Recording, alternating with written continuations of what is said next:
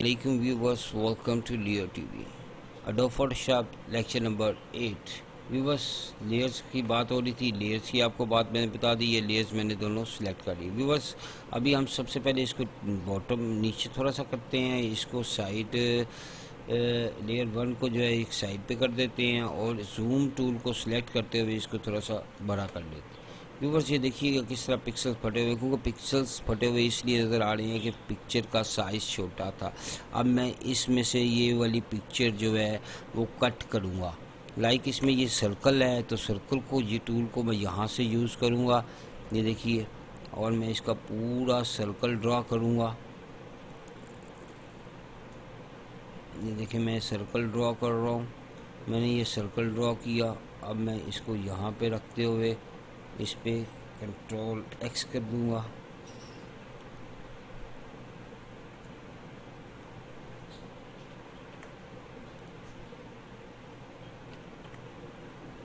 Could not complete the copy command because the selected area is empty. Why?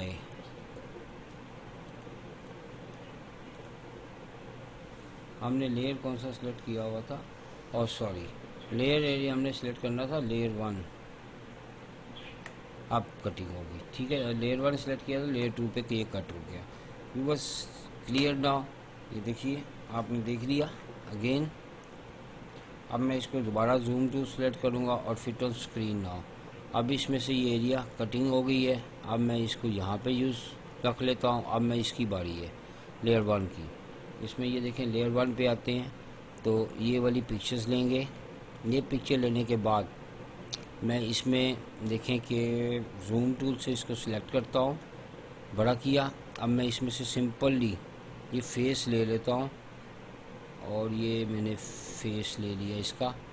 ٹھیک ہے، viewers now, اب میں اس کو کنٹرول ایکس کر لیتا ہوں اور کنٹرول وی کرتا ہوں تو دیکھیں لیئر نمبر تھری بھی آ گیا اس میں۔ اب ویورز اس میں دیکھیے گا۔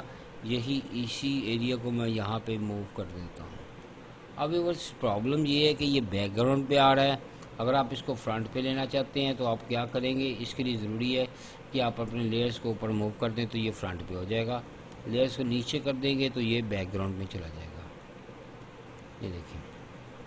کلیئر اب اس میں یہ چند چیزیں آپ کو کلیئر ہوگی ہوگی۔ اس طرح ہم پکچرز کو لگا سکتے ہیں موو کر سکتے ہیں۔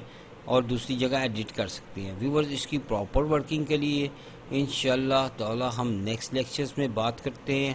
اور میں انشاءاللہ آپ کو اچھی اس میں ورکنگ دکھاؤں گا اور اچھی پکچرز کے ساتھ آپ کو ورکنگ ہوں گی یہ پکچرز ہم نے ایک بڑی پکچر سے چھوٹی امیجز لی تھی اور اس میں پکسل کلیئر نہیں تھے اور آپ کو پرابلم آتی تھی۔